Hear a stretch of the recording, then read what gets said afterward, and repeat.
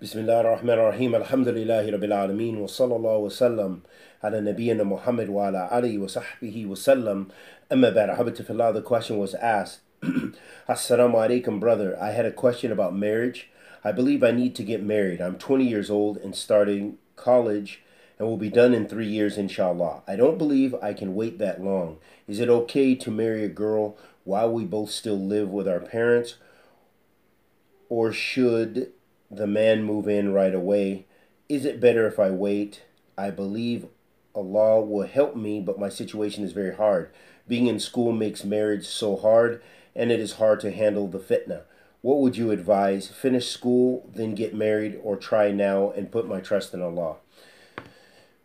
First and foremost, this is a common question and a common dilemma. What I will say uh, as we know the hadith of the Messenger of Allah sallallahu alaihi wasallam, and we've mentioned it many times, where the Prophet wasallam said, "Ya ma'ashar al-shabab, man istata'a alaykum aw minkum uh, al-ba'a falyatazawwaj." Uh, o youth, for those who are able from amongst you, then you should marry. The Prophet ﷺ did what? He gave a command.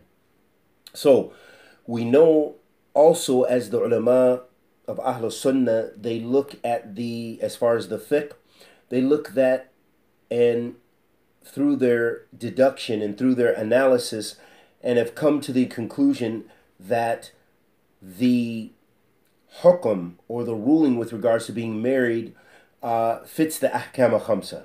That sometimes it can be an obligation, sometimes it can be mustahab, recommended, sometimes it can be uh, something that's just simply mubah.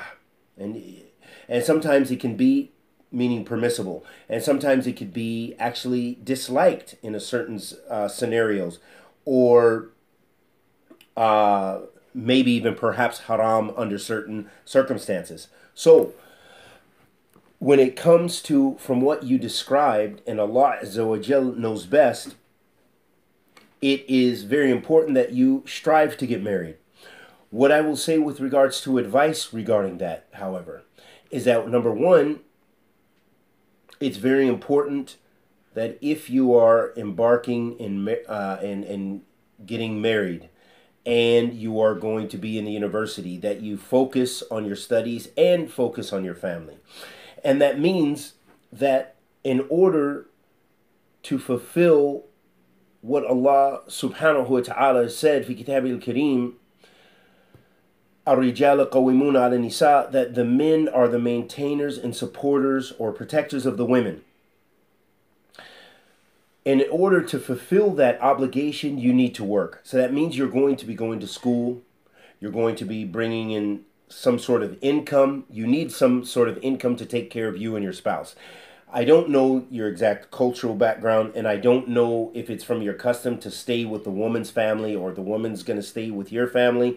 Perhaps if you have a family that is can can support that, then and you find that it's absolutely necessary and the woman is okay with that, then you can do that in order to meet your particular needs.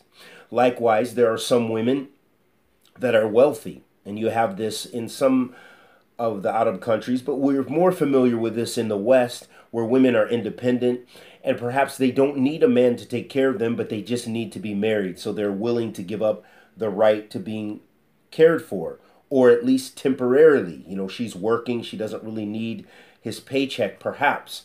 But what I will say that's problematic, and this happens time and time again, uh, especially in the West, we have this uh, situation is that when a man is not working, uh, and this is perhaps even from the fitra, the general nature, that the women are going to be less uh, inclined to respect you. A man that is working or a man that's taking care of his wife, if he's regardless of whether he's working, he has the money, if he's a businessman, if he's just independently wealthy, have ni'ma min ni'amillah. Uh, but the fact that he's taking care of his wife, then this earns her respect more so.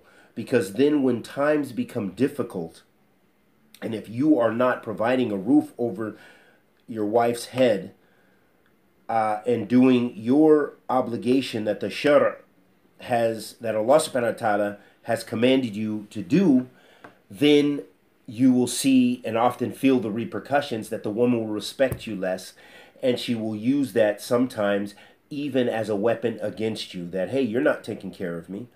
Uh, why should i listen to you? Why should i sleep with you? Why should i these are real scenarios very common that we have uh, that we deal with. So it's very important to balance yourself that yes your education is very important and it's also very important uh, as far as your marriage, but you need to have a means either to care for her or unless your family is going to help you with that for uh, uh, the time being until you graduate or until you become uh, a bit more grounded in your studies, whatever the situation is.